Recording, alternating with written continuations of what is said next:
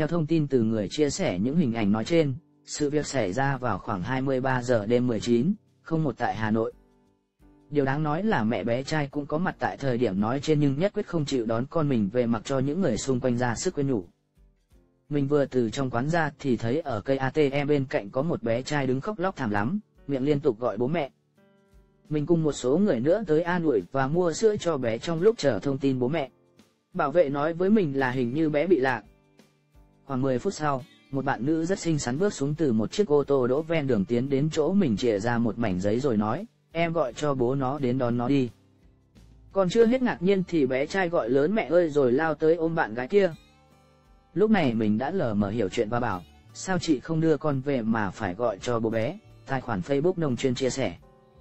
Gặp phải câu hỏi khó, người mẹ trẻ liền bơ luôn người đối diện, quay sang đứa con nhỏ nói, con chờ ở đây. Lát bố đi chơi về bố đón rồi lạnh lùng quay đi. Thấy vậy, những người xung quanh không ai bảo ai. Tự động dán ra, không đứng cạnh em bé nữa xem mẹ bé có vì thấy con một mình mà nghĩ lại, đưa bé về. Nhưng không. Mặc cho mọi người hết lời khuyên nhủ giận chồng thì giận nhưng đừng bỏ con ngoài đường tội nghiệp, người phụ nữ vẫn một mạch lên chiếc ô tô mới, bỏ đi mất. Bỏ lại đằng sau là tiếng gào khóc của con mình cùng những ánh mắt ngỡ ngàng của những người xung quanh. Ảnh, Facebook.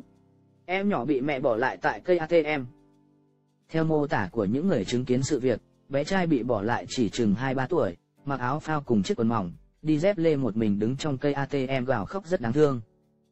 Trong khi đó, người mẹ trẻ là một phụ nữ đẹp, lái chiếc xe hơi khá sang trọng nhưng có cách hành xử không thể lạnh lùng hơn. Câu chuyện đáng buồn sau khi được chia sẻ lên một ít đã lập tức gây chú ý và khiến người mẹ trẻ vô tâm nhận về vô số chỉ trích cho hành động vô trách nhiệm của mình. Vợ chồng tuy không thể tránh những lúc cơm không lành, canh không ngọt nhưng đứa con chẳng làm nên tội tình gì để bị bỏ lại ngoài đường giữa đêm lạnh như vậy cả. Tuy nhiên, với bất cứ lý do gì thì việc đem con bỏ chợ mặc cho người lại thế này là không thể chấp nhận được.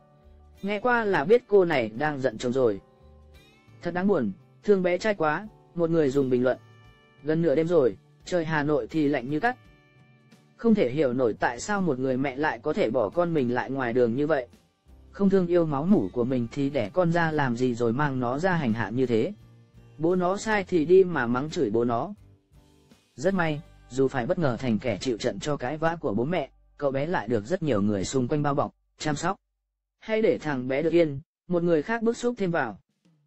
Dựa vào số điện thoại mà người mẹ bỏ lại, người dân xung quanh cùng nhiều cư dân mạng đã lập tức liên hệ với bố bé trai. Anh này sau đó đã đến để đón con về.